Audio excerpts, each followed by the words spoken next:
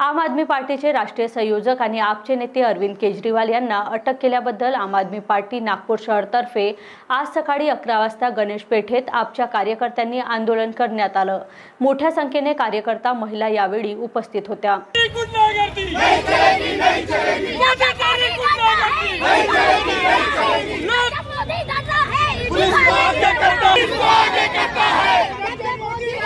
दिल्लीचे मुख्यमंत्री अरविंद केजरीवाल यांच्या अटकेनंतर देशभरात आपचे कार्यकर्ते रस्त्यावर उतरले आहे. नागपूरमध्येही आम आदमी पक्षाचे कार्यकर्ते आक्रमक झाले.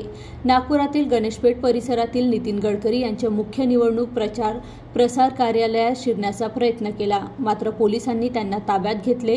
केजरीवाल यांना अटक झाल्यानंतर आपने देशव्यापी आंदोलनाची घोषणा केली. त्यानुसार शुक्रवारी सकाळी अकरा वाजता नागपुरातील गणेशपेठेत आपच्या कार्यकर्त्यांनी आंदोलन आंदोलन सुरू केले. मोठ्या संख्येने कार्यकर्ते व महिला उपस्थित होत्या.